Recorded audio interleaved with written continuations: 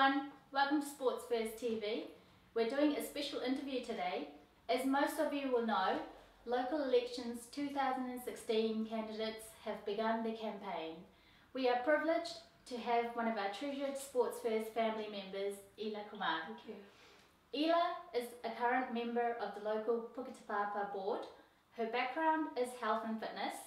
She is also very passionate about the local community and has given back and continues to give back to the com community in so many different ways.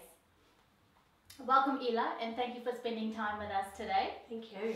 Ella, firstly tell us a little bit about yourself and your family. So I'm a mother of three children with a very supportive husband and um, I'm into sports a lot of course and into community a lot, into health and fitness of course. So I've been doing that for nearly 30 years now and find um, that I'm very passionate about it and making sure the community get a lot out of me back for them as well. Okay. Ella, how did your journey begin with health, fitness and community work? So health and fitness has been really funny. I think uh, my sister actually got me into that. And many, many years ago in 2000, oh, it could be probably in the 90s, 90s, 70s and 80s, mm-hmm. there was Jazzercise and Jazzergetics out in Victoria Street. And she wanted a buddy to go with her. And I didn't drive, so I went along with her and I thought, wow, this is going to be great. I enjoy it. From there, I never looked back that got me into the health and fitness industry because I actually started to crave doing these classes and uh, being an Indian it was slightly different on what we can do and what we can't do. And that time, that was something I could do. So I got out there, did this, and from there took next step, next step, became an instructor and so on. In the community, I think that helped me, being uh, going into the health and fitness. It started to take me out of that little uh, shy bubble. Mm-hmm. And I started to be a person that I can actually speak a little bit more yeah. and be amongst community and speak what I want to say. So I think that played a big role. Oh, that's great. Well, I certainly enjoy your classes. Thank you. What inspired you to become part of the Puketapapa board? It was someone that came to my class actually and they said to me, and this was in 2010, and they said, Ella, why don't you put your hand up for the local body elections? Mm. And I thought, nah, I was on the local, I was on the uh, school boards, so I thought, nah, this is something different totally. And she goes, you would be the right person to be part of this. And I went along to a couple of the meetings and had a look and I thought, I do like this. It's about caring for my community. Mm. It's about not the school looking after 2,000 students maybe, but maybe 60,000 people. But I felt passionate about that. So that's when I thought, okay, yeah, I'm going to put my hand up, but I didn't know where it was going to go. I didn't know if I was going to get elected, but I thought, let me give it a go. Mm. Yeah. And here you are. Here I am. Third time putting my hand up again. Yeah. yeah. Uh, from a professional point of view, what would be your typical week? Yeah. Um, I didn't want to say a typical day because you're super busy and you do so much. So what would be your typical week? So I wear various hats in the community, of course. Um, so I've got the local board hat that I wear, and then I've got a uh, job that I do. I work as well for ProCare Health, and that's doing lifestyle coordinating. I actually also do group fitness classes, so I work at gyms, and that's become like a hobby. I enjoy that. I'm a mum and a wife, and I'm actually a family member as well. So you've got other community people that you have to uh, do things for as well. Mm. So my week would be pretty tight in time. A lot of people do say to me that you're a busy person, but I think the busy you, busy you are, the more time you make. And I don't find I'm that busy. Um, my health and fitness world does work around people's full-time jobs. Yes. So I work a lot of after hours, a lot of early mornings and a lot of weekends. Mm. And that gives me a bit more time during the weekday then to give more attention to other places that I need to. Yes. Yeah. And your personal runs. And the personal runs. That's what I do for my fitness. I run. Yes. What inspires and motivates you to take on challenges on a daily basis? I crave for challenges. Um, I think I learn from um, challenges. I'm not scared to be challenged, and it doesn't mean that I have to be right all the time, and it doesn't mean I have to succeed all the time. Mm -hmm. But it gives me a chance to be able to do that next time around and see if I can get better. So I do crave for them. And I think for community through our community too, it's really important that never be afraid to take any challenges on because it just makes you a stronger person. Yes, yeah, oh, definitely. Uh, what has been the highlight in your fitness uh, and community career so far?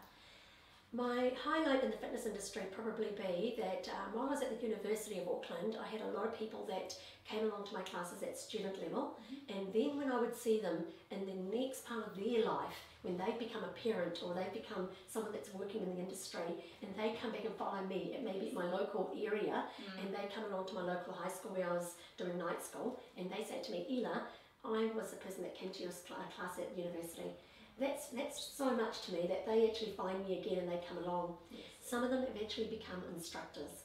And what I hear Wow. back on the Facebook from them is you inspired us to become an instructor. Mm. So for me, out of one person, I may be able to get another four more people doing things. That's amazing for me to do. And I think if I can do that a bit more for a bit more, few more years, we might be able to get a few more people out there doing health and fitness stuff.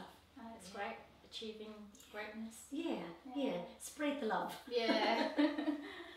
Can you tell us uh, about a few challenges which you may have faced um, and how you address them? Yeah.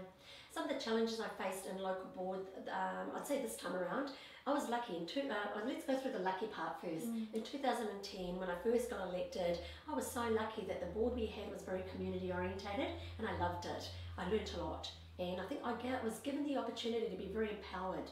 The chair at that time was a, uh very balanced community chair, Richard Barter, and I think he gave us a great uh, feeling of share of work and share of recognition and share of empowerment, which was amazing to be part of. And it didn't matter who you were, it was about shareness. This time I've come across few challenges. We've been the minority this time around, and we've had to face a lot of trying to get what we wanted for our community from what we heard from the community and try to win for them. It's been difficult, and I think that's some of the challenges I face. And this time around, I must say, it's been more of a political uh, board, which I've learned from that as well. So you learn from different boards of different ways that they are, and I, I love the community way the boards ran rather than the political one because community-based local boards, that's what community's about, and that's what boards should be about. No, But I managed to soldier on. I think the main thing is you do your best for the community, you face that challenge, and you try your best to get what the community wants out of it and help them along. And if they can't, what are the other ways that the community can continue to get the outcome? Yeah. No, I've, I've been to one of the meetings, and uh, from a from a member out in the Yeah. community, it's it is challenging Very. sitting there in the audience Yeah. and listening to everybody. Yeah. Um, Yeah. So Yeah. well done on the patience Thank you. that you've had all this time. Thank you.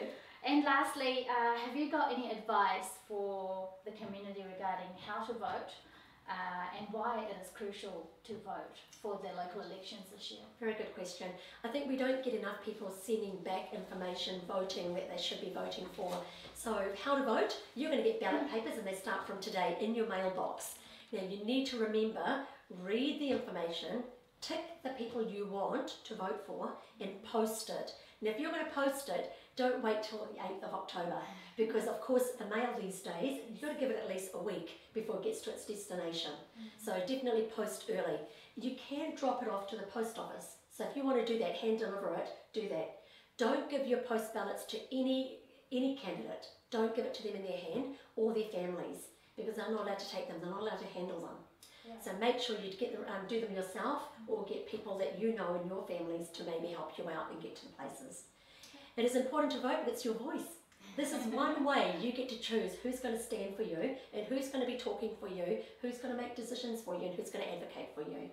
And at the end of the day, you need to have someone up there that you can actually give a call anytime you want to and also pass uh, words on that you want to as well. So it's important to vote.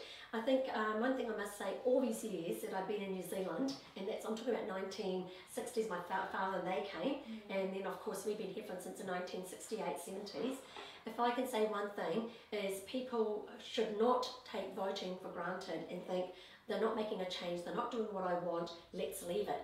I think have your voice, and you've made a change already. You be the change. No, that's great advice. Thank you, Ella. Um, that that's us really. Thank you for spending time with us today. You are truly in- inspiration for me, definitely Thank at a you. personal level that I've known you, and you have a great family that backs Thank you. Uh, Thank you very much. So yeah, really appreciate your time today, Thank and all the best for the you. elections. Thank you very much. Oh, thank you. Appreciate it. Thank you, community.